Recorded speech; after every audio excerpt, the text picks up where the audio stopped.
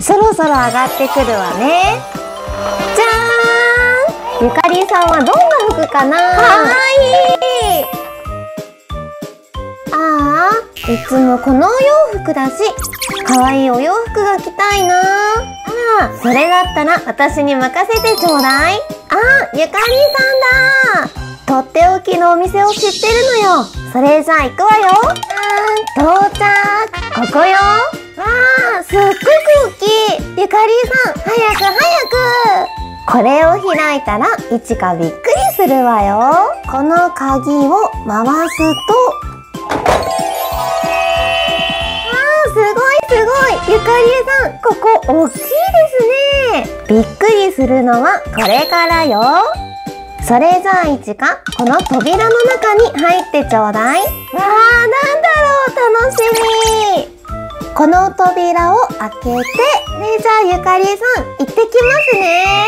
きっとみんなもびっくりするわよ。のボタンを押してよいしょ。あ上がっていく。そろそろ上がってくるわね。じゃーんすごい。お洋服が変わった。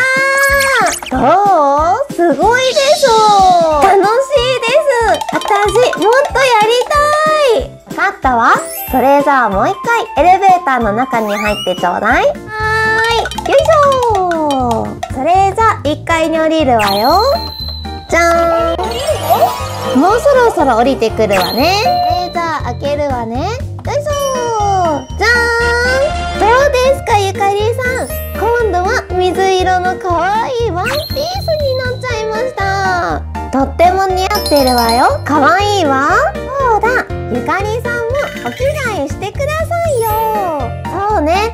いちかを見てたら私もお着替えしたくなったわ。この中に入ってドアを閉める。ハリーさんそれじゃあこれ動かしますね。ハリーさんいってらっしゃい。ゆかりさんはどんな服かな。あ出てきた。かわいい。あゆかりさんとってもかわいいです。そうでしょこのピンク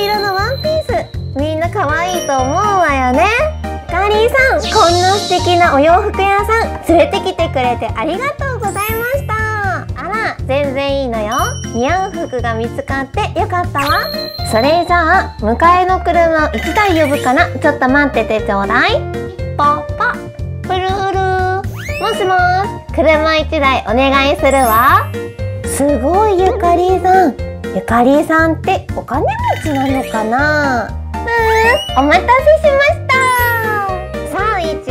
迎えが来たわよ。えー、お迎えってメルちゃんだったの？それではメルちゃん号出発いたします。最後にみんなにクイズです。私が最初にお着替えしたお洋服の色何色だったか覚えてるかな？わかったらコメント欄に書いて教えてね